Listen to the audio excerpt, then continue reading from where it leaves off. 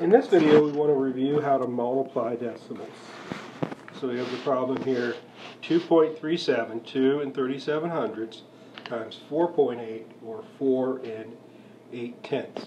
Unlike adding and subtracting, we do not have to worry about lining up decimal points uh, for multiplication. We just first multiply the numbers as if we were multiplying 237 times 48.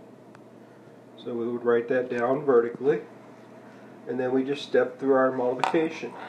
So we would do 8 times 7 is 56. Carry the 5. And then we would do 8 times 3 is 24. 24 plus 5 would be 29. And we carry the 2. 8 times 2 is 16. Plus 2 is 18. Bring down the 1. And when we come to the next row, when we're multiplying by 4, we first bring down our place value of a 0, and then we multiply. And at this point, I'm going to cross out the 2 and the 5, so we don't accidentally use them again. 4 times 7 is 28, carry the 2. 4 times 3 is 12, plus 2 is 14, carry the 1. 4 times 2 is 8, plus 1 is 9. And then we just add everything up. 6 and 0 is 6. 8 and 9 is 17. So put down the 7, carry the 1. 1, 8 and 4 is 13, carry the 1. 1, 1 and 9 is 11. Now the final step that we have to do here as we're working with decimals when we're multiplying is we now need to go back and count up our decimal places.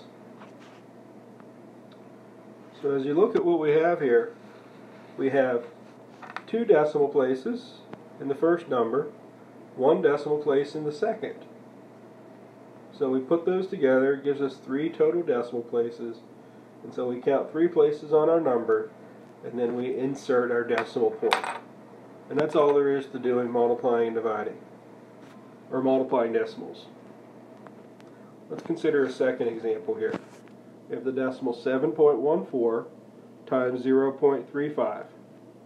Again, you do not need to line up decimal points when multiplying decimals. We just write it down as a regular old multiplication problem. And for the moment, forget that we have decimals in play.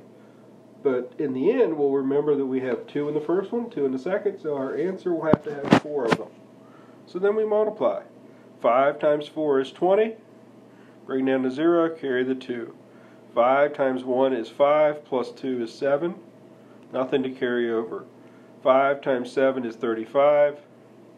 And so we've done the first row. Bring down the zeros. And I went ahead and crossed my 2 out. And now we multiply by 3. 3 times 4 is 12. Carry the 1.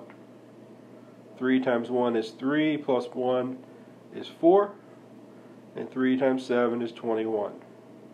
And then we just add everything up.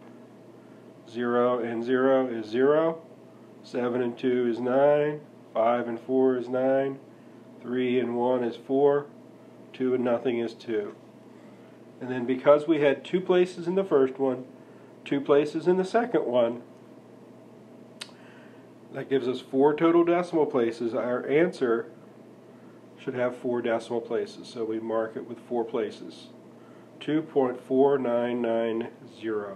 And when you write that answer down, you can leave off the zero on the end if you want.